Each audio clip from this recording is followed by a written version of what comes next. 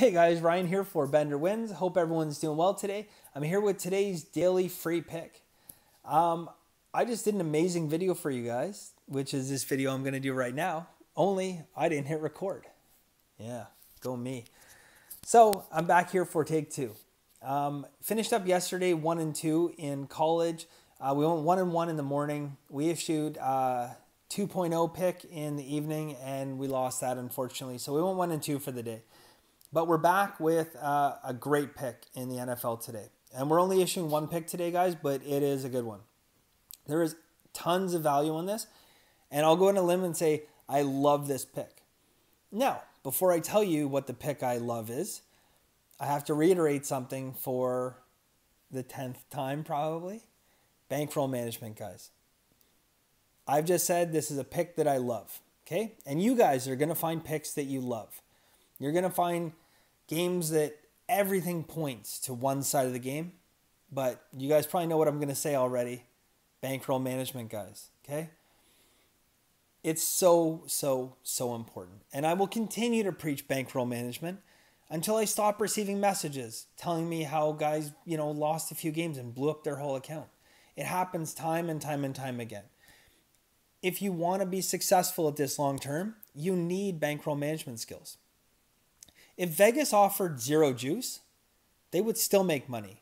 Two reasons. One, they're good at setting lines. They're good at getting people to bet the wrong side. And number two is 95% of the public has terrible bankroll management skills and they will eventually donk off all their money to Vegas. And Vegas knows this.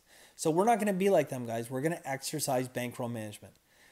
So even though I come out here and tell you, I love this pick, we're going to exercise bankroll management. Now, that being said, for me personally, this is going to be on the higher end of what I would play normally. So, quick recap bankroll management, guys. You're a recreational player. You're going to add some money throughout the year here and there. You can bet up to 5% of your bankroll per game. That's the maximum. Doesn't mean you have to bet that every time. That's your like top pick. Okay? You're professional better. And I shouldn't have to tell you if you are a professional, but I'll throw this out there. You're one to one and a half percent of your bankroll, guys, because that's your livelihood and your living.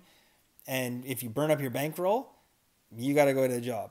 So that's it, one to one and a half percent. And you're aspiring pro, kind of, we'll call it semi pro, someone aspiring to be it, but you know, still has another job, but they're dealing with large bankroll. You guys want to be around 2%. Okay? 10%, 20%, 50% of your account, you cannot win long term. Okay? You cannot handle the variance and you will lose. I promise you that. I promise you. And if you don't believe me, it'll be an expensive lesson for you to learn, guys. So please heed my words. Control yourself. Bankroll management. I was there, believe me. Before I did this, like, and I got into doing this like professionally, I don't know how many times I blew up my bankroll. And I wish there was someone there that told me these things because you really need to hear it, guys. And you know, I spent three minutes already on this video, like trying to hammer this message home because it's so, so, so important.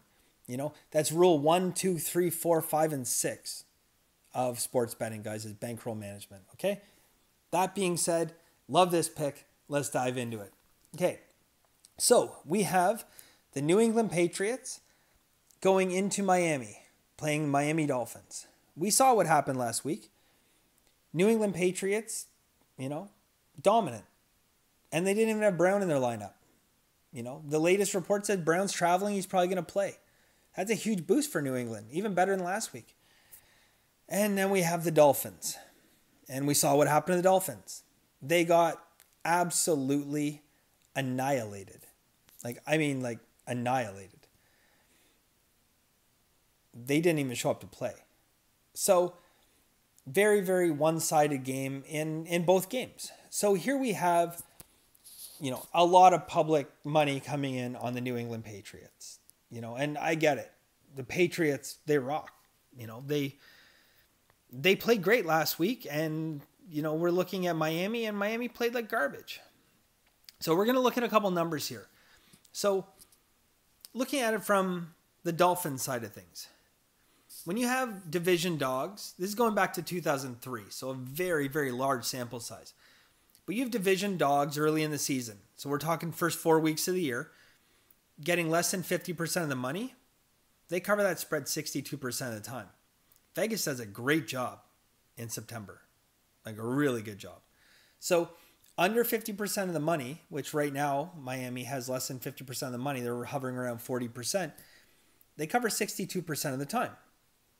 So now, the second thing I'm going to throw out there is when teams who missed the playoffs in the previous year. So when you enter teams that missed the playoffs, that's typically indication of subpar teams. Okay? When they lose their previous game by 26 or more, when they bounce back after that, they're 76% to cover the spread. 76% to cover the spread. So teams that lose by 26 or more when they miss the playoffs the previous year, they come back 76%, guys. That, that's a huge number. I don't have to tell you guys that. In the last 10 games, like that, the last 10 games where a team missed the playoffs and failed to cover the spread by 26 or more the previous game, you know what their record is in the last 10 games? 10 and 0. Not bad. I mean, again, that's a small sample size for that specific stat, 10 and 0, but 10 and 0 kind of tells us something. So, if you haven't guessed yet, and you guys really need to listen to this next part because it's compelling. But if you haven't guessed yet, um, we're going to be on Miami. We like Miami in this game. So we're going to be on Miami plus the 19 points. But here's something that's really, really compelling, guys. And this is in, in the in the past 15 years of football in the NFL. There's only been eight times where there's been a dog of 18 points or more. Only eight times. It doesn't happen much in the NFL. Of those eight times, believe it or not, the Patriots have been involved in five of those times. But let me tell you the record where there's been an underdog who's been 18 points or more, that underdog covers seven and one. Seven wins, one loss. Okay? Because the NFL is not built for spreads that high. And teams should never have spreads that high. And what we're betting on is not only the Miami Dolphins, but we're betting on history today. Because never has a team covered a spread of 17 or more going into another team's building.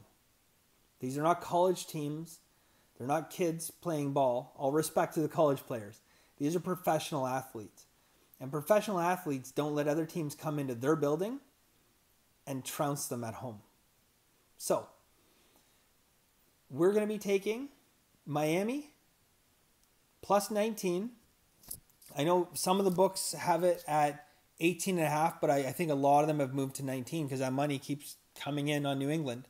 Um, so that's it, guys. We're, we're betting on Miami and we're betting on history that no team has ever covered a 17 point or an 18 point plus spread going into another team's building.